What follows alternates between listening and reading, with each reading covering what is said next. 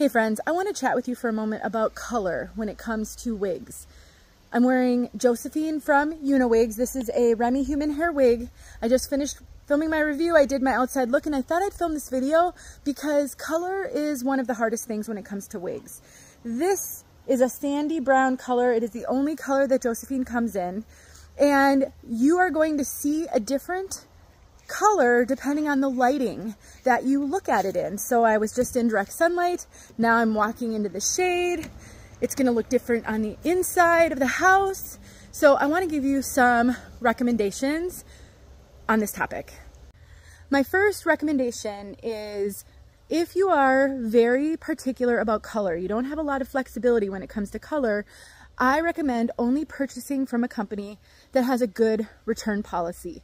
One of the reasons I love reviewing for Uniwigs, because they don't pay me for these reviews, um, unless you consider a gifted wig that may or may not work out for me payment, but is because they have such a great return policy. And I love sharing really good resources with you because I know how hard, the, how hard this journey is.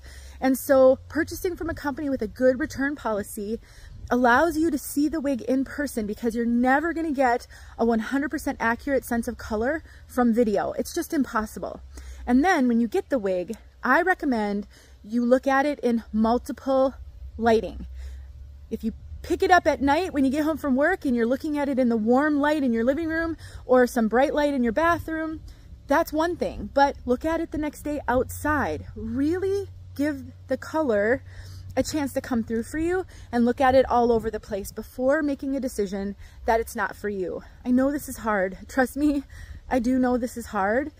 My goal is to just give you as many resources as I can because you never know what someone is looking for and to give you useful tips that will make this journey easier. Talk to you soon.